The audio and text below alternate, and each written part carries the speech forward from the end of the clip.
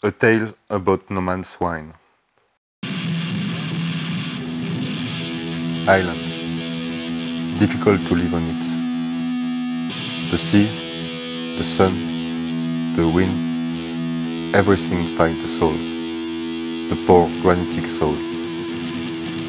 Here the vines suffer. Fruity but spicy, generous but austere, long but salty, the soul of the island is in the wine.